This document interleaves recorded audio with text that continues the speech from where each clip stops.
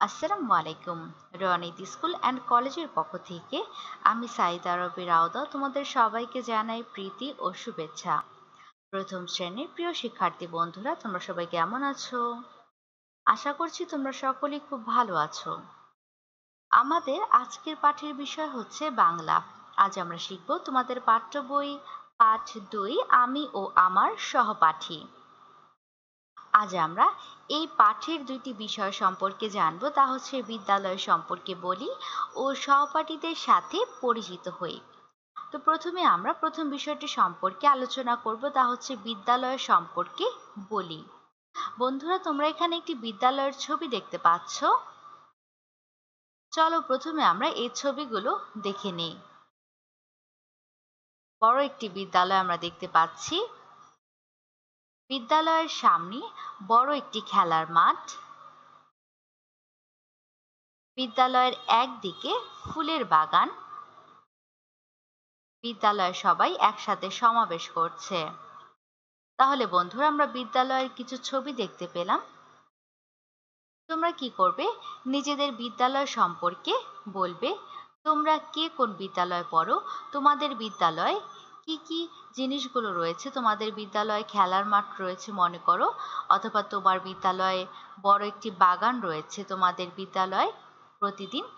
সকালবেলা জাতীয় সংগীত এবং শপথ পাঠ করা হয়। এই বিষয়গুলো তোমরা তুলে ধরতে পারো। এই বিষয়গুলো তোমরা উল্লেখ করতে পারো যে তোমাদের বিদ্যালয়ে কি কি রয়েছে? এখানে আমরা একটি বিদ্যালয় দেখেছি, যেখানে দেখা যাচ্ছে যে বিদ্যালয়ে বড় একটি মাঠ আছে। বিদ্যালয়ের একদিকে রয়েছে ফুলের বাগান এবং বিদ্যালয়ে সকালবেলা সবাই সমাবেশ করে, মাঠে সবাই একসাথে খেলাধুলা করে। এখানে আমরা যেমন একটি বিদ্যালয় সম্পর্কে জেনেছি, ঠিক একইভাবে তোমরা কি করবে? তোমাদের নিজেদের বিদ্যালয় সম্পর্কে বিস্তারিত বলবে যে তোমাদের বিদ্যালয়ে কি কি আছে, কীভাবে তোমরা বিদ্যালয়ে পড়াশোনা করো, কীভাবে তোমরা বিদ্যালয়ের মাঠে খেলাধুলা করো, কীভাবে সকালবেলা সমাবেশ করো, ইত্যাদি সম্পর্কে তোমরা উল্লেখ করবে। এবার আমরা আরেকটি বিষয় সম্পর্কে জানব, তা হচ্ছে সহপাঠীদের সাথে পরিচিত হই। তোমরা ছবিতে দেখতে পাচ্ছ যে একটি শ্রেণি কক্ষে একটি ছেলে ও একটি মেয়ে প্রবেশ করেছে। এবার শিক্ষিকা তাদের দুইজনকে সবার সাথে পরিচয় পরিচিত হতে বলছেন। আমরা কি করব? আমাদের নিজেদের সহপাঠীদের সাথে পরিচিত হব। তাদেরকে নিজেদের নাম, নিজেদের মায়ের নাম, বাবার নাম, নিজেদের দেশের নাম ইত্যাদি বলে আমরা একজন সহপাঠীদের সাথে একজন সহপাঠীর সাথে আরেকজন সহপাঠী খুব সহজেই পরিচিত হতে পারি।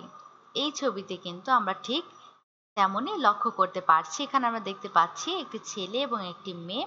তাদের সহপাঠীদের সাথে নিজেদের পরিচয়ের কথা বলছে, নিজেদের সম্পর্কে বলছে এবং অন্যান্য সহপাঠীদের সাথে পরিচিত হচ্ছে।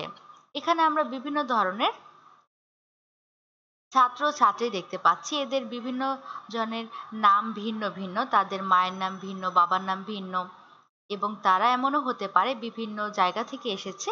আমরা যদি নিজেদের সহপাঠীদের সাথে পরিচিত হই নিজেদের সম্পর্কে বলি এবং তারাও যদি নিজেদের সম্পর্কে বলে, তাহলে কিন্তু আমরা একজন সহপাঠীদের সাথে আরেকজন সহপাঠী খুব সহজেই পরিচিত হতে পারব। তাহলে বন্ধুরা,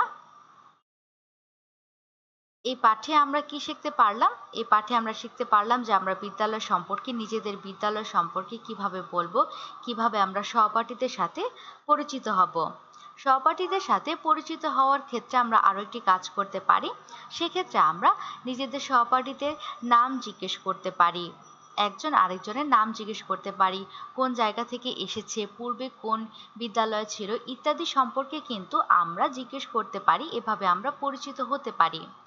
তাহলে আমরা আজকে নিজেদের বিদ্যালয় সম্পর্কে এবং সহপাঠীদের সাথে কীভাবে পরিচিত হব সেই সকল বিষয় সম্পর্কে জানলাম। বন্ধুরা তোমরাও ঠিক একই কাজগুলো করবে। দেখা হবে পরবর্তী ক্লাসে নতুন কোনো পাঠ নিয়ে। সেই পর্যন্ত সবাই খুব ভালো থেকো, সুস্থ থেকো। আসসালামু আলাইকুম, আল্লাহ হাফিজ।